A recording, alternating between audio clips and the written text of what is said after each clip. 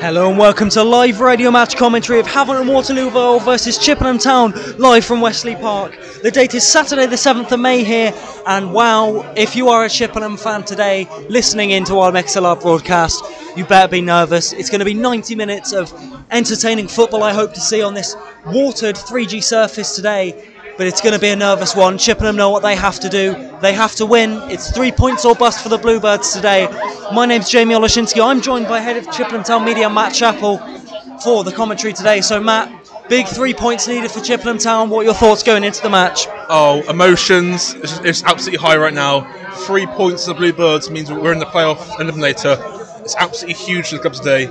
And hopefully we can get the win today, but obviously it'll be a very tough task. Havant. They're absolutely high flying currently. It's going to be one of those matches I think, Jamie. It absolutely is. And if you listen to our last broadcast uh, at Ebbsfleet from the Kuflink Stadium a week ago today, I mean, I've heard from a number of Chippenham fans that have messaged me online and that I've saw at the Hungerford game. They could tell I was very nervous.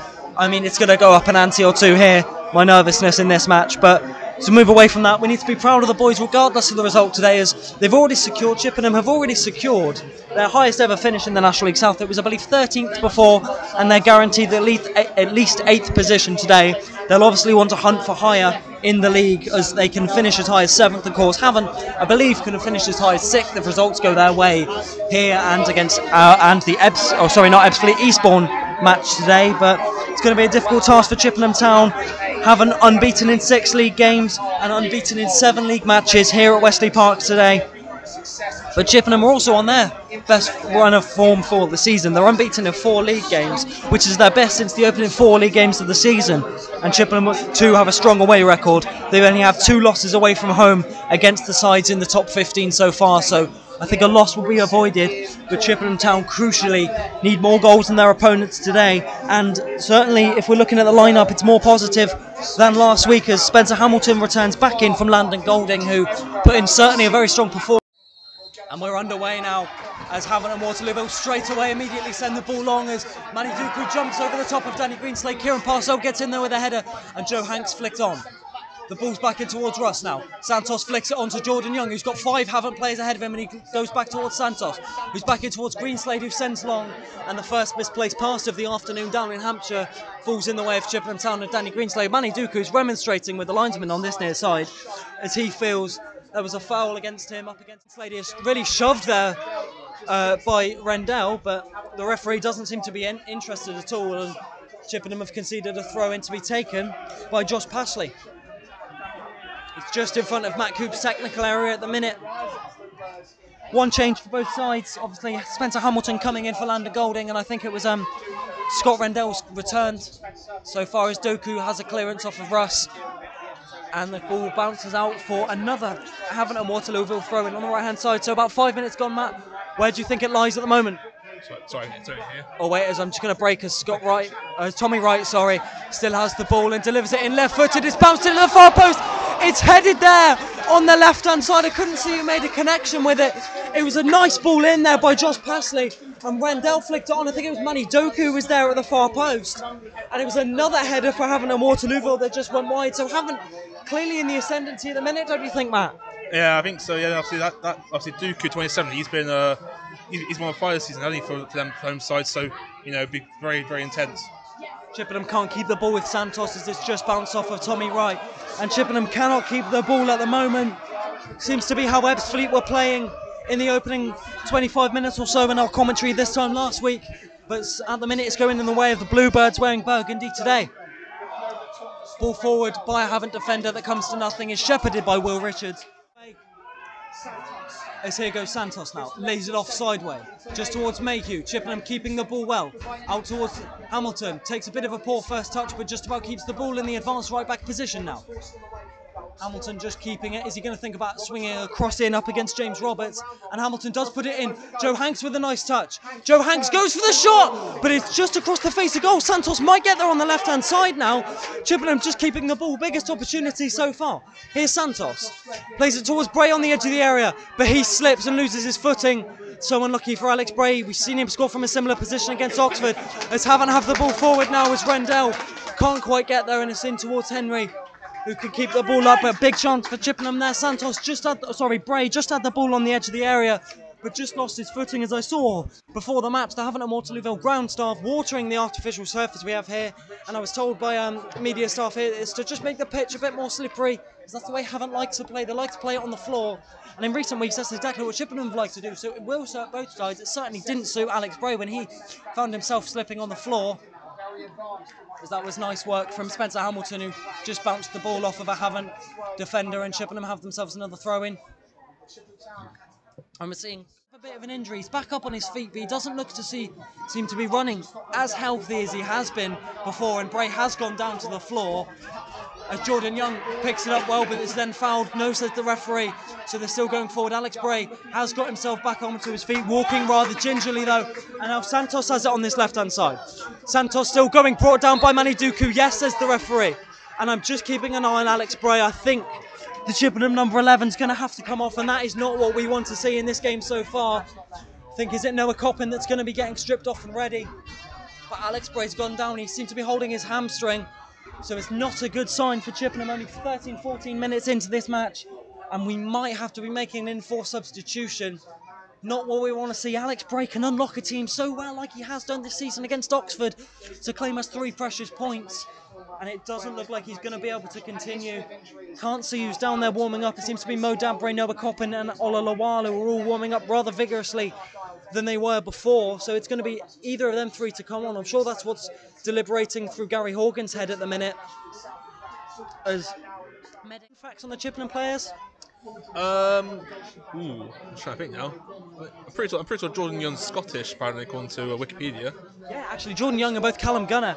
Uh, Callum Gunner was certainly born in Scotland. Jordan Young has played uh, Sc- uh, Scotland international youth games, I believe. So we do have some youth interna- uh, youth experience. Uh, Havant and Waterloo do have youth experience. However, he's not here today. It's uh, Sam Magri normally, but from the Maltese international, isn't playing today. But he is uh, has a Maltese, I believe, seven or nine caps. But it is going to be the first substitution of the match. It's a forced one, and so unlucky for Alex Bray. I think it may have been he pulled his muscle when he slipped. It might not have been the watery pitch, but it's going to be a substitution. So it's Alex Bray who's making way, but Mo Dabre is certainly going to be coming on. So I don't think it's a weakening of the Chippenham side. Mo Dabre's got he's got one goal this season in that big goal against Billericay Town and he's going to be coming where he hopefully can be the key to unlock this Havant and Waterlooville defence on loan from Swindon, who also played today. I'm sure many of you will be keeping a keen eye on their West Country results as well. But it's going to be Joe Hanks to take this as Alex Bray looks to be a bit upset as he takes his place on the bench, all of the while consoling him. But it's Mo Dabre who's going to have to step up to the plate with this final 75 minutes. Thank you very much to the 60 of you who are now in the MixLR chat. Thank you very much and you'll be listening to this free kick eagerly. It's going to be Joe Hanks on this left hand side, gonna swing it in. All the defenders are up there. It's just Danny Greenslade back. Hanks now delivers this ball in towards the penalty area. It's headed away by the number seven. Mo Dabre on the effort looks for a dinking ball. I'm not sure whether that was a shot or a cross, really, but it didn't really come to anything for Mo Dabre. So Ross Warner's going to have his second goal kick of the afternoon. Greenslade just hacks the ball clear looking for Jordan Young. But it's headed by a Havant defender. Newton there heads it.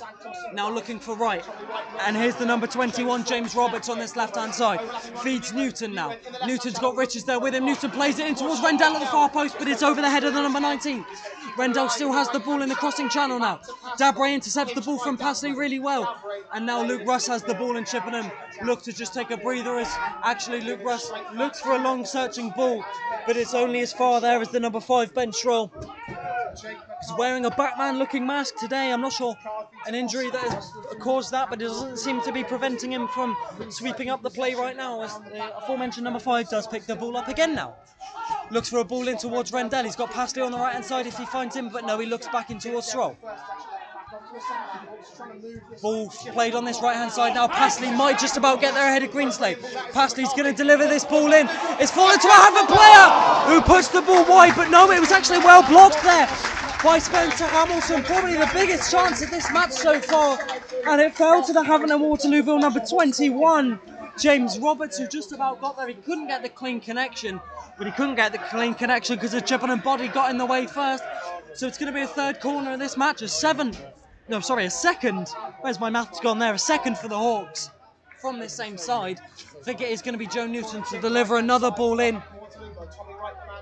Tommy Wright's actually just going over to take this now. I'm not sure in swing or out swing. It's cleared away again by Luke Ross, Luke Ross at the near post as Santos can't quite get there and the ball has it fell with Roberts. But it's good interception by Russ and Dabre. Feeds in towards Santos, who feeds in towards uh, Hanks now. Hanks is going on this right hand side. We know he's got some speed. Hanks still going. Joe Hanks has still got the ball. He's taken a touch. Has he taken it past himself though? As a Havant body throws himself to the floor for some reason. Hanks is cheating with the referee, or is having a word there with a Havant defender who has blatantly really thrown himself to the floor as he knows he's not going to get there. And that's what Joe Hanks is speaking to the referee Dale Wootton about, where the referee is just going to have a word with him and Ross Warner's going to be having a free kick. As I, am not really sure, I can't remember who the player was that's fallen down there, but he looked to be just throwing himself to the floor. And because Joe Hanks was in a promising opportunity to carry the ball forward and more forward to Ross Warner's goal, but I think he maybe just got a bit over exuberant in a challenge, and Ross Warner's just going to look to have this goal kick. And I'm just going to look to regain my, regain my breath myself as we push over halfway into the second half. Matt, how do you think the rest of this game's going to play out so far? Sorry. How do you think the rest of this game is going to play out? Uh, nerve wracking. Certainly a way to put it. It's the opening 25 minutes. I've been, you can probably hear in my voice, I've been a bit more calm than I was in the final couple of minutes against Ebbsfleet. But so far, we haven't seen any goals here. Still nil nil. Havant and Waterlooville nil. Chippenham Town nil. Here at Wesley Park, or also known as the Draper Tools Community Stadium. This broadcast brought to you by Lit Fibre as Ben Troll's going to be put under pressure by Jordan Young, and Jordan Young is nicked in for Chippenham Town. Is he going to shoot? He's round a player. Jordan Young puts it wide. What an opportunity for the Bluebirds. Oh no for Chippenham Town. Oh, Jordan Young did so well to put Stroll under pressure, and he picked the ball up, went inside of another Havant defender, and was one on one with Ross Warner. But he's put the ball wide. Oh no, big, big chance for Chippenham Town. And you might hear myself go nervous up on the ante now as I don't want to jinx on the way of the Chippenham skipper as the ball is overhit there by Henry who puts his left arm up in apology towards the striker Jordan Young who couldn't get there and Havant regained the ball with Schroll who sends it long now. But again it's only as far as Greenslade who knocks it on but Mayhew does really well to get his body in the way and that's a scything pass there by Luke Russ who's given it towards Santos but Santos takes a bit of a heavy touch and Joe Newton can bring it forward now. Missed challenge there by Luke Russ and the referee waves play on. Newton on this left hand side. Newton still going. Luke Russ with a perfect challenge, however, to knock the ball out for a Havant and Waterlooville corner. Brilliant clearance of Russ that was. Luke Russ, who missed the first challenge on, uh, missed the first challenge on Newton to get past, but then managed to sweep up back. Uh, but he's managed to concede himself a corner and Havant are going to have their first corner from the left-hand side. Both of theirs so far have been on this right-hand side. And it's going to be the number 20, Tommy Wright, to deliver this in. It's his second corner. It's an in swinger for Havant. Is there going to be a signal here at the corner? Doesn't look like it's going to be. No signal. In swinging corner, and it's not going to be cleared away at the near post this time. Headed by the number four. Henry uses his arms there to get there. It was Joe Oastler, the skipper at the far post, who just about got there. But it was the strong arm. They're going to need to grab a goal. That is plain and simple. They've scored in each of their last four. They're unbeaten in each of their last four. But they need a goal and they need to crucially hold on to all three points here today. As Santos is getting his shirt pulled all over him by Newton, and I think Newton will have to find his way into the book now. He gave away a cynical foul against Santos early on in the second half that wasn't a yellow card, and he had he had an armful there of Chippenham Town burgundy shirts.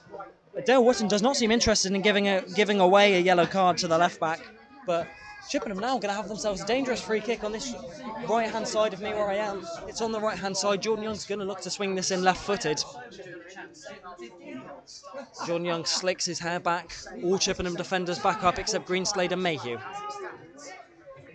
This would be a good time to get a goal just after the half time break. Paul Doswell must have had some choice words for his players at half time, and a goal would mess all of that up now. Come on, Chippenham Town. Jordan Young delivers this ball in now. Left footed, in swinging ball in, but it's cleared away there by I think Tommy Wright. And it's hooked away now. No, here, here goes James Roberts now. James Roberts has got Greenslade and Mayhew there. Tommy Wright gets his up there with him. James Roberts plays the ball, but Santos just about heads the ball. And is Will Henry just going to keep the ball in? Yes, he does.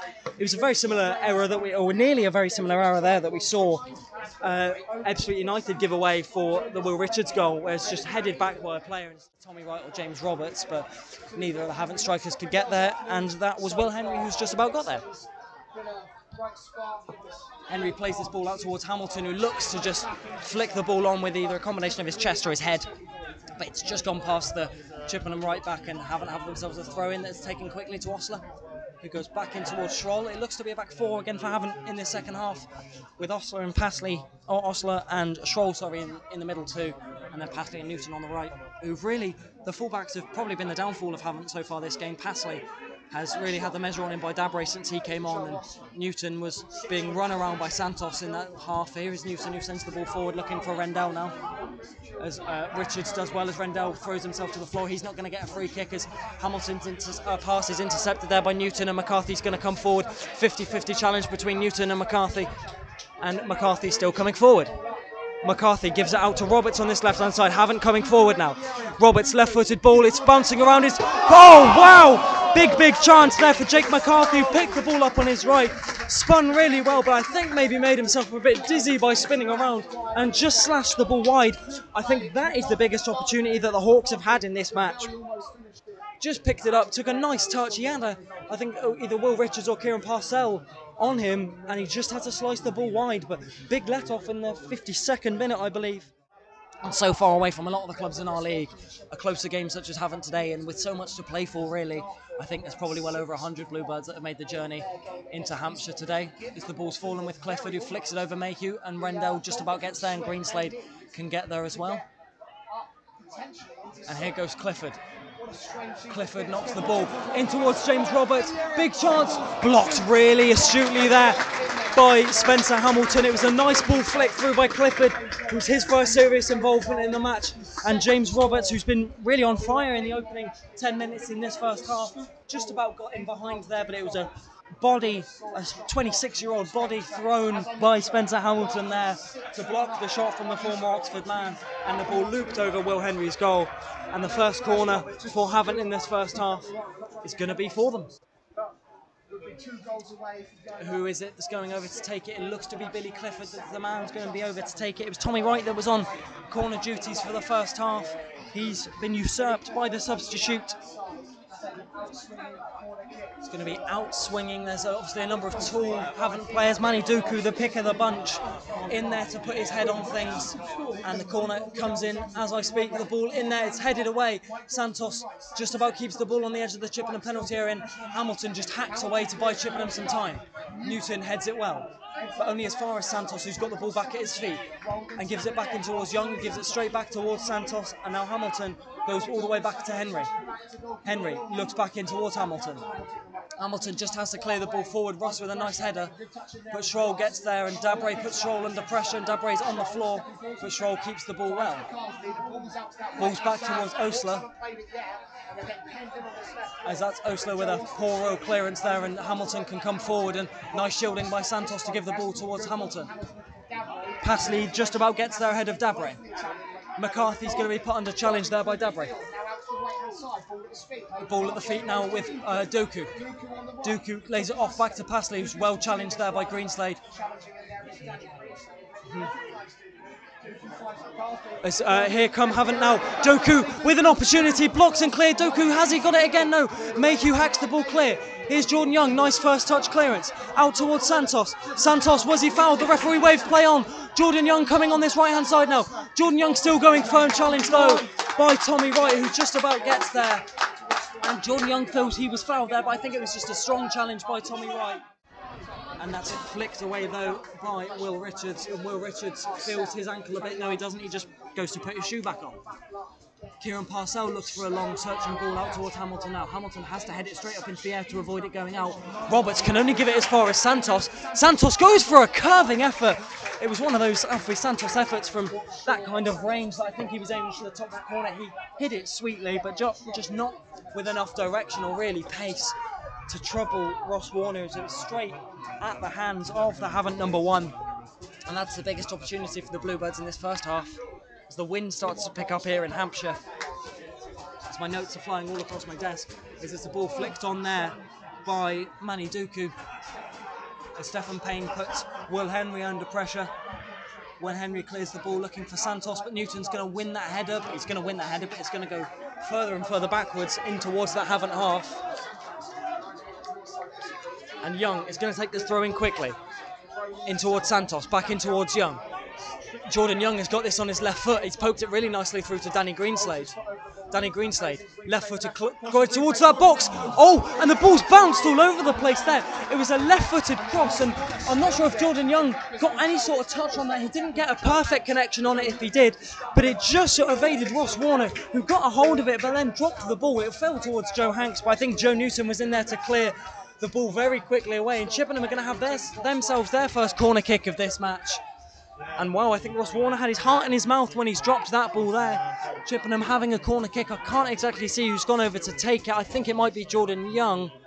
Might be Alfie Santos actually who's gone over. I think it is Santos who's going to deliver this ball in. It's a ball. Richards heads high. Dabre chests the ball down in towards the penalty area. He's come back out. Santos is going to think about a cross now. Santos looks to challenge Newton. Newton does just about get there. Dabre with the challenge. Tom Mayhew still there. Tom Mayhew knocks it in towards Hanks, who actually leaves it in towards Jordan Young. Jordan gets it, but it's a cross that comes in, headed away by Newton. Dabre can't get there, and Clifford looks to keep the ball. Back in towards Duku. Duku clears it only as far as Mayhew, who turns inside of right. Chippenham have the ball in opportunity. Ball in towards that far post. Oh, and Will Richards was sliding there. It was really good work by Tom Mayhew to just take a couple of touches past Tommy Wright and deliver that looping ball into the far post. And Will Richards was sliding in at that far post, but it's just bounced before it could reach the Chippenham number six and gone straight out for a goal kick. Another big chance for Chippenham Town that goes a begging. So Havant and Waterlooville nil, Chippenham Town forward by Warner. Hamilton heads away. Santos just about keeps in. Clifford's going to challenge with Santos now. Santos holding off his man really well. This is good work from Alfie. Tom Mayhew now takes nice touches, feeds Young, who plays a quick left footed ball out towards Greenslade. Greenslade takes a touch, he's got Roberts with him for company. But Russ now, quickly in towards Mayhew, who's got Duku behind him. Here's Mayhew, plays a nice ball looking for Young, takes a touch, Jordan Young for Chippenham Town! Oh my word!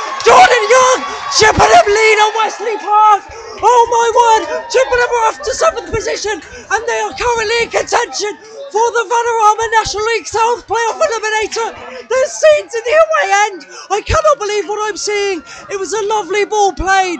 Jordan Young, he makes no mistake this time and slots the ball underneath Ross Warner. Oh my word, Jordan Young. Brilliant stuff from the number nine. He was calm, he was composed this time. And Jordan Young now gets his eighth goal of the season. Chippenham Town are in the lead. Chippenham Town are in seventh position. I'm sure that would have echoed across West Wiltshire, North West Wiltshire, and Chippenham fans creating such an atmosphere behind the goal. Oh my word, come out behind your sofas. There's going to be a big, big 20 minutes. But Jordan Young has slotted the ball past. I've seen the entire Chippenham technical staff come running onto the pitch. And Jordan Young, the man who was signed this season from Gloucester City by Mike Cook, has at the minute given Chippenham Town the lead. Looking for Santos, but Newton has to head the ball up straight into the air. Mayhew gets a shove in the back from Payne. Santos then goes down exuberantly, but the referee waves play on. Clifford now. McCarthy coming forward. McCarthy plays it towards Roberts. Roberts on the left hand side. Driving at Will Richards. Lays it off towards Newton, delivered the ball in. It's off with the chest of Will Richards. Corner kick for Havant and Waterlooville. 13 minutes left to go. As I'm sure you will be able to hear from the fans around me if Havant score here. But Chippenham have been resolute defending so far. Jordan Young has given them the 1 0 advantage on 70 minutes as Paul Rooney runs off down the tunnel after his substitution. But it's going to be a corner kick to be delivered in for the Hawks. It's in towards that far post. It's bouncing around all over the place. A Havant player has gone down in the area. I'm not sure what has happened down there. I don't think I don't think the player, I think it was the number seven McCarthy who went down. He doesn't look to be giving up too much of a protest, so no penalty. It's Jordan Young now for Chippenham Town. He's onside. Jordan Young, is he going to make it two? Yes! Chippenham Town have done it. Surely now they won't falter. Jordan Young at the double, and from agony to ecstasy for Chippenham Town. They thought they'd given away a penalty. The two goals to the goods. Jordan Young at the brace. He's celebrating with the fans down, down there in the area. Oh my word, Jordan Young, he was in behind disorganisation in the Havant and Waterlooville back line, and he's put that left foot, used that left foot to welly the ball into the top corner of Ross Warner's goal. And with, I believe, around 10 minutes left now, Chippenham Town can't fall from here, surely. Jordan Young at the double for the Bluebirds, his eighth and ninth goals of the season. 2 0 to Chippenham. And well, Becca, you said you put your laptop on the floor. I'm sure your laptop might be snapped in half now. Drinks gone everywhere. Wow.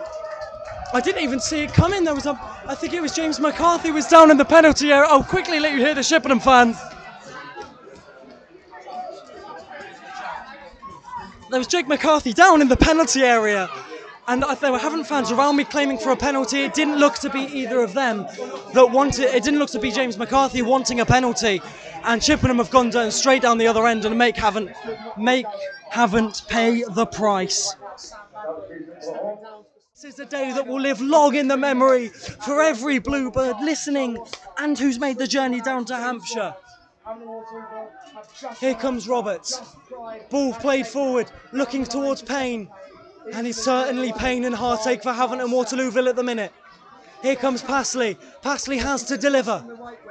Passley in towards Payne. Passley's been overrun. It's missed now towards Clifford on the edge. Clifford does he think about a strike? Gives it to Hamilton. Chippenham win the ball back. Bradbury coming forward now. Jordan Young, the man who has given Chippenham Town three crucial points, gives the ball now to Bradbury down in the corner. Dale Wotton looks at his watch. Surely 30 seconds left. Ball back in. Now, the number 35, Andrews. He was on loan at Chippenham. He moved to bigger and better things. And at the minute, he's moving to finish eighth as opposed to finishing seventh. Kieran Parselle puts two arms in the air. He knows it's there. The Chippenham Town players surely know it's there. It's in the bag. Santos puts his arm up for the ball. Greenslade has it, running down the clock. Greenslade kicks the ball just out of play. Oh, Off a Havant player. Chippenham have themselves a throw in. Three minutes for us press time on the rock. 2 0 your score to the Bluebirds. Final nail in the Surely, seconds remain. Three points at Wesley Park is what we were ordered to do in the week. Full time at Wesley Park! Chippenham Town are in the playoffs! The final day works again for Chippenham Town, and they have done it. Three points were needed, two goals were scored, one man has done it. Chippenham Town have done it. I cannot believe it. 59 points, 40 games, two points the difference. I cannot believe it. It's Jackman Jordan Young. I misquoted in the week saying he'd scored his eighth goal of the season. Must have been a good luck charm because he's bagged his eighth and his ninth today. Luke Russ, Joe Hagg's going to celebrate with the fans. This is what we enjoy football for. The West Country regains its pride. Chippenham Town of Wiltshire fame, of the West Country, are in the top seven of the National League. It feels horrible for Havant and Waterloo. 40 games, and they've they've dropped it at the final hurdle. I don't think Havant played badly. Jordan Young was just the crucial man. I cannot believe what I'm seeing. I've had a th- I've had some notes prepared all week. We are going up down in the corner. This is sending shivers down my spine. I hope, I hope I can get across how much this means to everyone at Chippenham Town. A club run by volunteers has done it. Jordan Young has scored two goals in the final match of the season to turn the tide for the Bluebirds. Wow. Wow. I'm not sure, Matt. You said your voice was going. You've been here. You've been here well over most of your life, and this is a first. So this means a hell of a lot more to you than to most. What words do you have to say, my son? I, oh, I don't know. I'm speechless right now. I've got tears in my eyes. it, feel, it feels embarrassing to say I'm on the verge of tears here, but the amount of effort that everyone at the club has put into this, I can't believe I'm saying this. Scenes down in the away end. My word. Kieran Parselle leading the team in the celebrations. I've just seen media recruit for next year Sam Hart saying, Come on, lads. Jordan Young gets a big bear hug from Matt Coop. Olays from Chippenham Town, they have a right to celebrate. They have a right to party. They have made the Vanarama National League South playoff positions for this season. Well, I just like to I'd like to thank everyone at the club. Personally, and I'm gonna I would like to thank every Chippenham Town player who's played in the local league this season. I will list them all out.